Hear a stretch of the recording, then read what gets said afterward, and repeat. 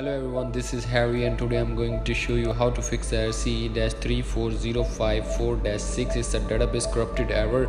So I'm going to show you how to fix this. Up. Go to the settings, there is a account management tap on the account management restore license. Go to the restore license.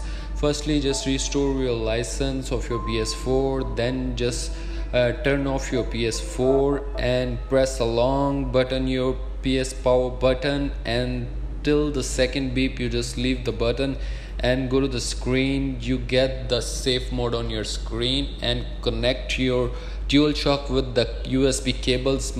Then press the ps button. It will be worked. And uh, go to the uh, fifth number of rebuild database. Just tap on the rebuild database. Press ok and wait for the rebuilding database. I'm going to skip some loading parts and here's a rebuilding database. It will be take just two minutes or less than two minutes and after that you just go back to the playstation. Welcome back to the playstation here and press the ps button of your controller use the controller and that's how you fix this error and make faster your ps4 and if you have any question then ask me in the comment box